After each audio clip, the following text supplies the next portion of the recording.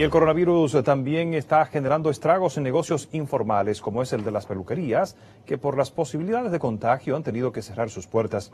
El sector de las barberías permanece cerrado ante el llamado de los funcionarios de salud, que recomiendan mantener una distancia mínima de dos metros. Sin embargo, para estos trabajadores informales, la situación se agrava cada día, ya que su fuente de ingresos depende de la clientela. Hasta el momento no están definidas las políticas de apoyo de parte del gobierno para ese sector.